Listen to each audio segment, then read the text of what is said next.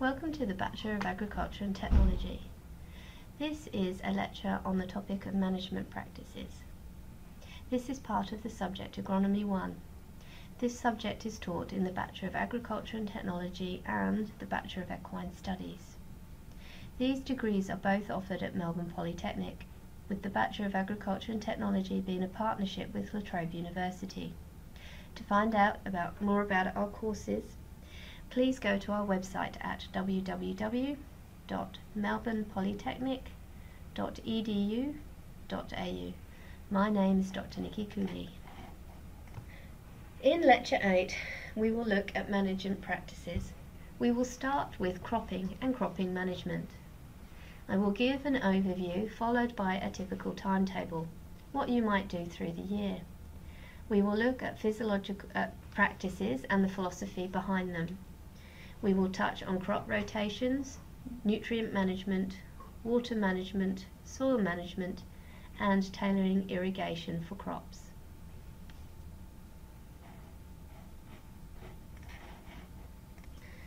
When you do any kind of farming, it can be backed by a philosophy. One of the more important philosophies that we talk about across this de degree is that of sustainable practices and is certainly a good place to introduce such practices. The Australian agricultural scientist Gordon MacLeod introduced sustainable practices to cropping in a paper submitted in July 2009. Sustainable agriculture is the act of farming using the principles of ecology, the study of relationships between organisms and their environment. So we will look at both sustainable practices and other practices used in Australian cropping here. The image on your screen is an example of a typical management timetable that I have compiled.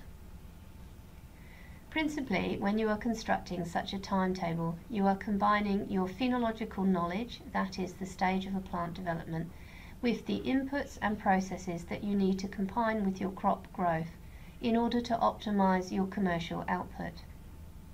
For example, when growing wheat, you start with the preparation of the soil or paddock. For example, you might look at weed control strategies. You might conduct soil tests. you would then look at sowing. How are you going to sow? What are your sowing densities? What nutrients or fungicides may you add? When will you sow? You might then look at disease and pest monitoring, and you might have to do this all the way through the season. That will enable an effective control plan to be implemented.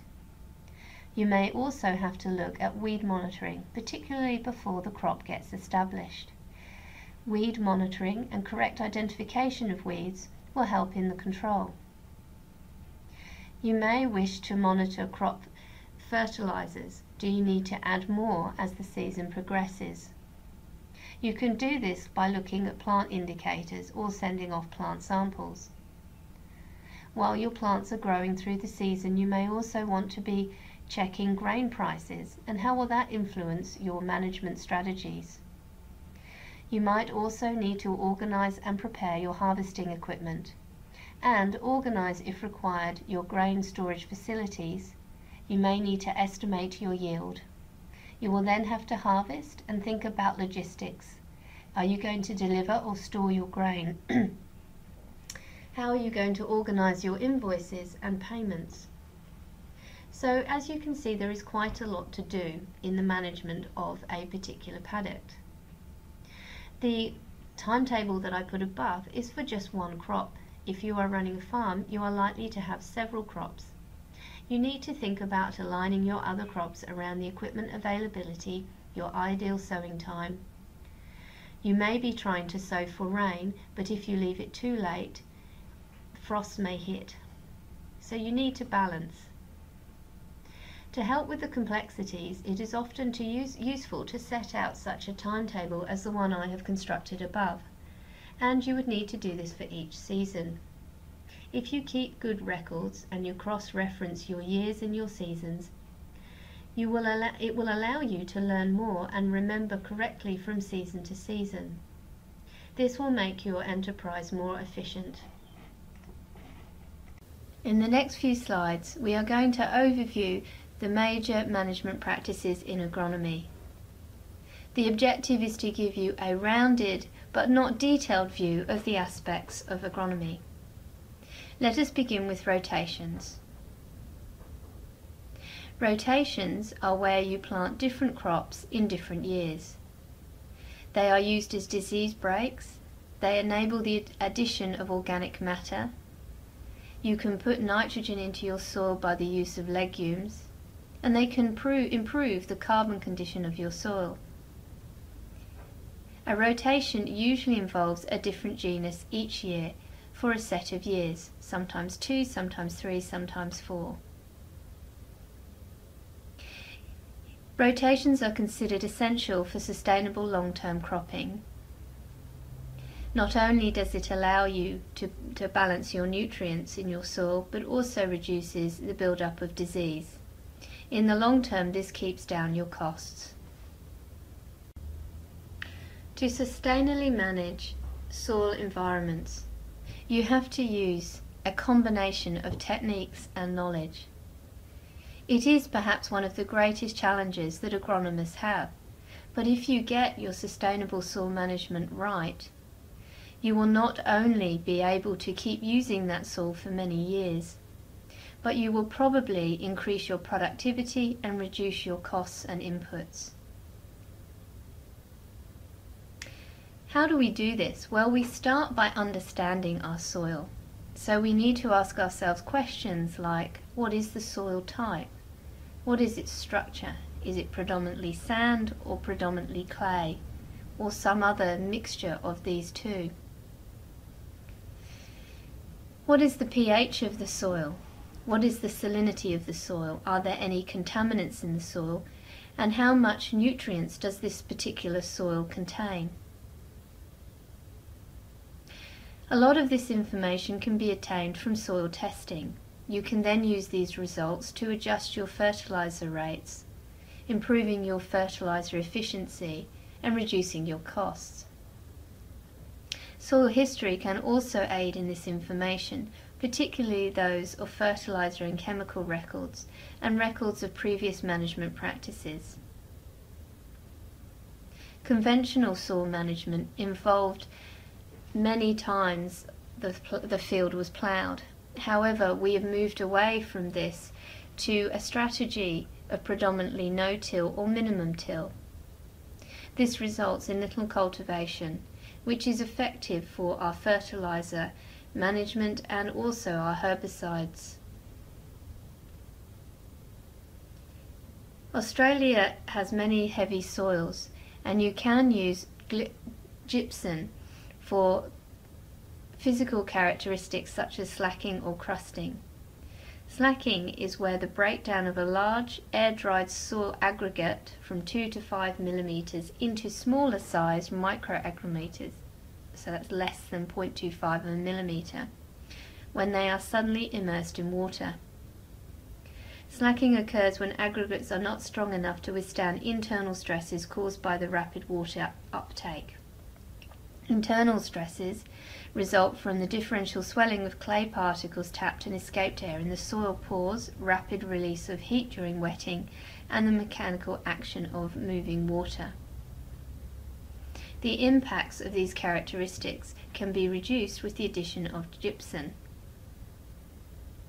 If your soil is slightly acidic, you can adjust by the pH by adding lime. These are two common practices of soil management in Australia. Nutrients are essential for plant growth. Nutrients are usually delivered in cropping systems via fertilisers. There are a wide range of soils in Australia, but typically they tend to be phosphorus deficient. Nitrogen is also a common fertiliser added to Australian soils, and this can be found predominantly in three forms, MAP, DAP or urea. We are conducting some experiments on urea in the Yan Yean Teaching and Research Demonstrator, which you will have become familiar with while doing this subject. Potassium is commonly used too on Australian soils, and some of the local deficiencies we have is zinc, manganese and sulfur.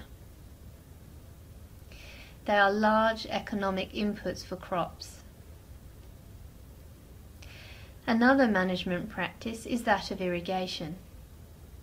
This tends to be used for specialised crops where the economic value is worth the infrastructure cost. Breeding programs and bulking up from mother seed have reduced the need for irrigation on some crops, but can also increase its efficiency. It is often stated that weed, pest and disease control is perhaps the single biggest cost that farmers have to deal with. It is important for you to understand the following. Have a good idea of what the weeds, pests and disease are for your district, your farm and your paddock.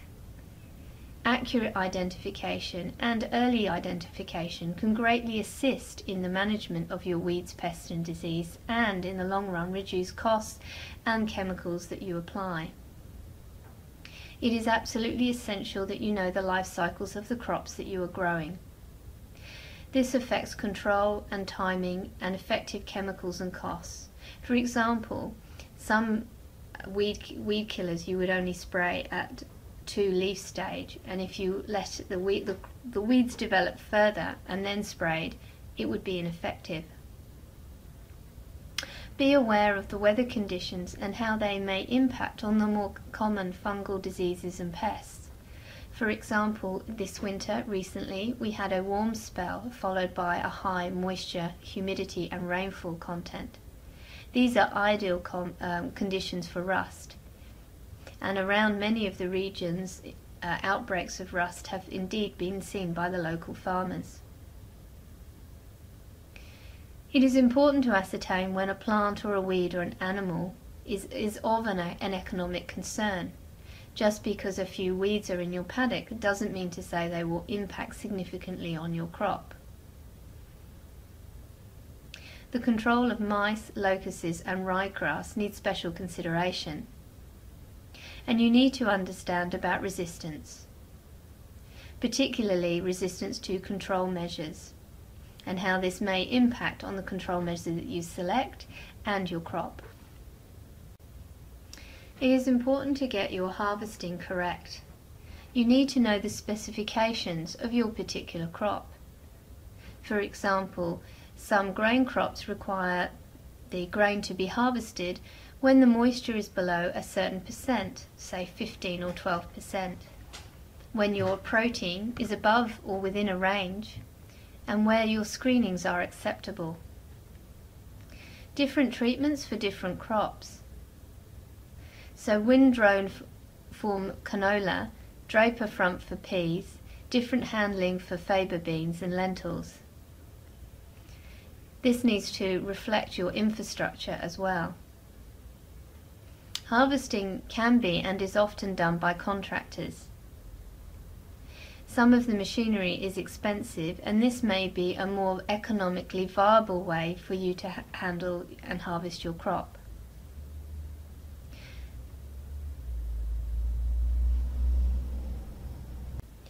After uh, harvest, you then have to consider storage. This can take two forms. You can store on your farm or you can store off the farm. Storage on the farm usually involves silos or bunkers. They need to be clean and they need to be sealed to prevent for insect damage. You need to have good recording systems in place for your storage records. Off farm, involves chemical sites which are often placed near railways.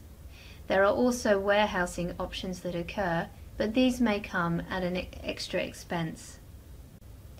Technology and agronomy is advancing at a very rapid rate.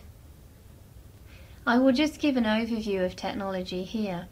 However, we do offer a subject, agricultural technologies, which goes into further detail about the new agricultural technologies that are emerging in the industry. So perhaps the most common that's used currently is GPS or Global Positioning Systems. This is technology that enables you to locate an area This is very important for keeping records and for allowing automation of some processes such as the auto steerer. You can have herbicide application via boom sprays, variable fertilizer application. This is very exciting and does allow sustainable agronomy, sustainable soil management, and once the infrastructure is in place, has significant economic benefits. Yield mapping is another important technology which has been advancing in several years. This is where you take samples at known locations and then produce a 3D map. Yield mapping tends to come under the umbrella of precision agriculture, as does variable fertilizer applications. Another consideration where technology is aided, and that is in tram lining. This is where the same tracks are used for every pass. You need to match up equipment. And finally, genetically modified crops. This is a significant advancement in the area of modern agriculture, but it does come at a cost. There are some groups and some consumers that are against this, and therefore you really need to know your market before you embark on such crops. The following image is of an air seeder and demonstrates some of the new and exciting technologies that are available to farmers. Organic agronomy, or more commonly known as organic farming, is the practical application of a farming system and associated management that should be founded on building soil humus. All activities of the farm will centre around the conversion of existing organic matter into st stable humus. In modern organic farming, farmers work with natural soil processes like nitrogen fixation in legumes and work out how best to utilise nutrients from each crop. Organic farming yields can be below conventional production. However, this is not always the situation, and there are certainly examples of farmers that yield greater. Organic farming does require a rigid or um, audited system, and there are seven accreditors that operate across Australia. One of the criticisms of organic farming is that there are so many accreditors and that they require slightly different specifications. There is also a view the, from the general public. They see organic farming as something that is very holistic, and many consumers are prepared to pay extra. This is how farmers will compensate for initial low yields there is an increasing body of evidence for organic farms that have been along, in existence for many, many years, such as some of the first organic farms that came out of the US, that do require an NPK addition after about 10 15 years of practice. However, the amount of NPK that had been placed on that farm over that period is much, much less than those of an or conventional farm. During the period of this NPK, the farm becomes non-organic or non-certified. Two years will pass and then certification will be granted assuming all other criteria is met. There are a body of farmers that do take on the philosophy of minimal inputs and sustainable farming and while they are not farming as an organic farmer in a certified way, they are certainly taking on board many of the principles. Now let us look at the markets. It is important to familiarise yourself with the markets, and they essentially fall into domestic and export. In the domestic markets for agronomy, this tends to be a mixture of for human consumption, such as bread, biscuits, noodles, malt, breakfast cereals, Stock feed for stock such as poultry, pigs, feedlots, dairy, sheep. Manufacturing for ethanol production and polymers. And manufacturing for pharmaceutical industries. Often the pharmaceutical industries do require the planting of specially genetically modified or GM plants, and you need to understand the components of this. Whatever particular market you choose to aim at, ensure that you are aware of the pathway to market. That is, can you sell your crop? How do you sell it? And who, have, who are you able to sell it to? These are important considerations, particularly if you are trying a new crop. The second group is the export market. There are many countries we export to, the Middle East to countries like Egypt, Iraq, Iran, Jordan, Turkey and Syria, Japan, China, Malaysia, Indonesia and South Korea. There is significant competition for our exports against the US, Canada and Argentina. Therefore, the supplies in these countries, as well as the exchange rate, can significantly import, impact on export markets. Some considerations, the end product. There may be different specifications for various breads and noodles in other countries. Pest and weed seeds need to be considered and sometimes you can they can vary during shipping so they can start off at an exceptionally good quality and due to the container and the shipping transport time be a lower quality when they arrive at their destination. Also, some of these countries require specific paperwork, so you need to know what countries and what paperwork before you go down this avenue. Other considerations for marketing are storage and logistics. Australia is a large country and it is very expensive to transport on road, so you need to consider other transports such as rail and boat. The demise of small delivery points. More and more of small delivery points have closed down, so therefore the distance between each delivery point is greater and this will impact on, on costs. Different markets have different specifications. So what do you want to sell and who do you want to sell it to?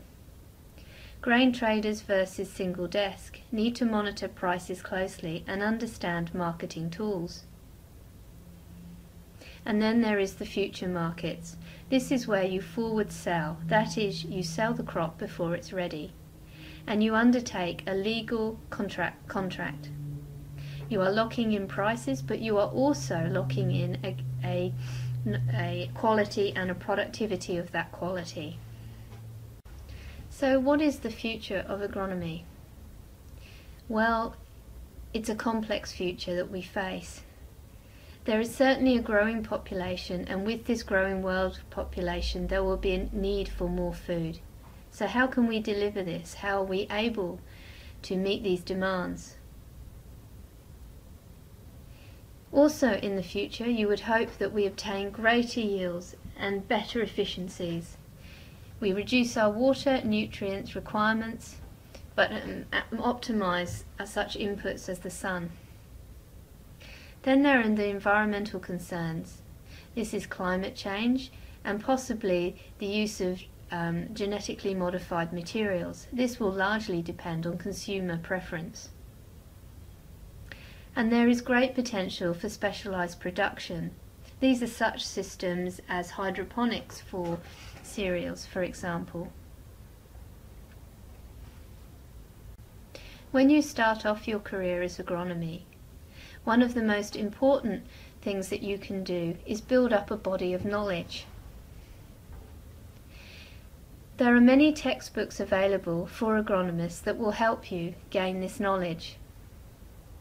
Also, the Department of Primary Industries that are um, located all over Australia are exceptionally good resources for Australian farmers. I have put on the slide the website for DPI that leads to the crops section and crop production. You will notice that all of the crops are separated and there are specific management aspects and considerations.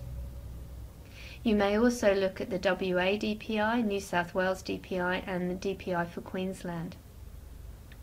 The research funding bodies, such as the Grain and Research and Development Corporation, are also exceptionally good uses of knowledge and information. Universities and agricultural websites also offer additional information for management. This brings us to the end of the lecture on agronomy management practices. This lecture has been a very basic overview of agronomy. I have covered the major management practices. We started by familiarizing ourselves with crop timing and the seasonal aspects that are specific to Australia. We discussed sustain sustainable soil management and the practices that it incurs. We've also looked at the philosophy, philosophy of low input, science based farming. That is, you measure and you interpret your results and you optimize your resource input based on your measured measurements. We've looked at the most significant inputs in agronomy. These are nutrients, water, pest and disease control. And we finished off by examining the markets, the future and where you can obtain information. This brings us to the end of this lecture.